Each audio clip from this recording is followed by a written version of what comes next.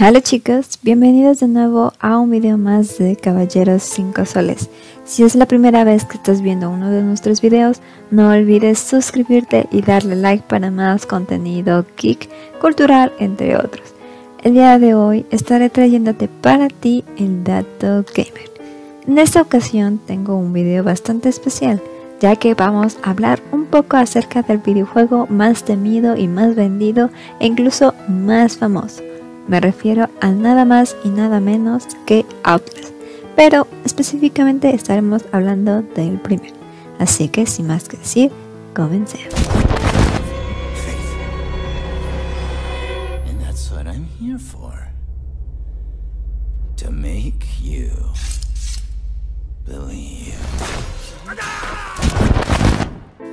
Si bien algo que podemos decir acerca de Atlas es que si escuchas el nombre, luego luego se te viene en mente lo que se trata este videojuego.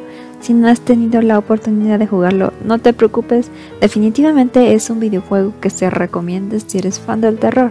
Eso sí, lo peculiar que tiene Outlast es que básicamente el personaje no, no puede ser como Rambo y tampoco puede atacar como todo el mundo quisiera cuando está desesperado y con miedo. Lamentablemente, Outlast tiene esa maña, esa peculiaridad de que tu personaje, el que estarás llevando todo el videojuego, únicamente puede esconderse y únicamente puede empujar a sus enemigos. Así que ahí tienes que tener la habilidad de sutileza y sobre todo atención a lo que te rodea. Lo más importante es que podemos activar un modo visión nocturna. Y esto resulta bastante fundamental para superar pues ciertas zonas ya que a veces encontrarás al personaje en total obscuridad.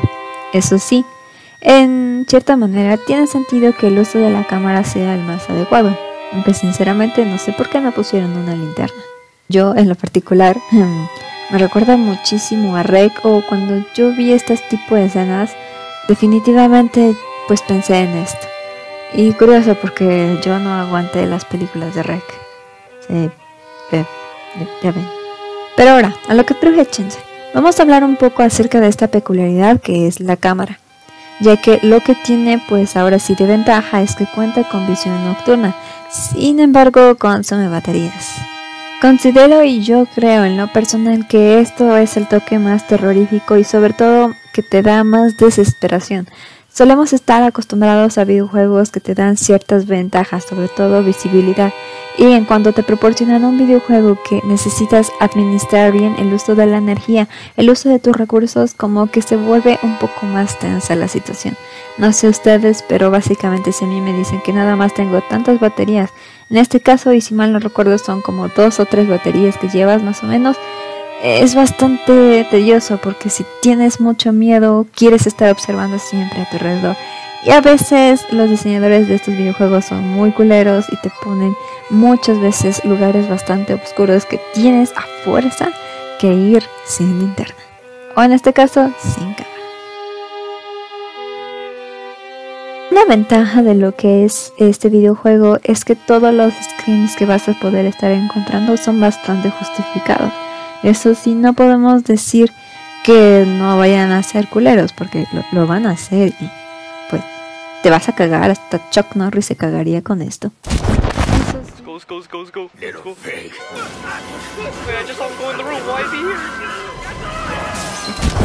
Eso sí, y otra cosa que a declarar es que si no eres tan fan de los puzzles, pues vas a tener un poco de problemas porque si no aguantas esta presión y este miedo, seguramente o no vas a terminar hablas o lo vas a odiar o lo vas a amar, pero al final te vas a desesperar también porque no puedes resolver las cosas y he escuchado muchas veces que han terminado buscando los acertijos en YouTube.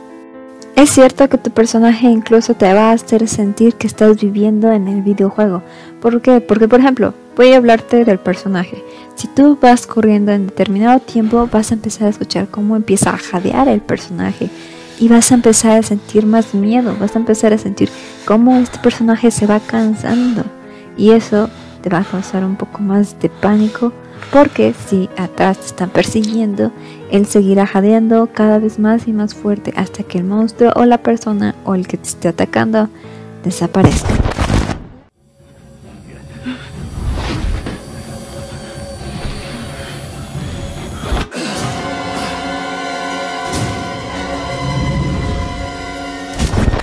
La ventaja de todo esto es que los enemigos que te vas a estar encontrando básicamente tienen maña. Entonces una vez que tú entiendas cómo juegan o cómo están atacando, básicamente te será pan comido.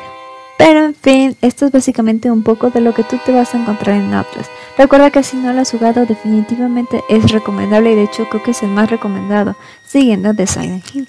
Eso sí, yo espero que si te atreves a jugarlo nos digas qué tal fue tu experiencia. O si ya lo has jugado, pues coméntanos aquí bajito qué tal te fue. Gracias por ver este video y antes de despedirme no olvides seguirnos en todas las redes sociales. Recuerda que también tenemos Twitch en donde hacemos varios streams. Eso sería todo de mi parte y nos vemos para la próxima.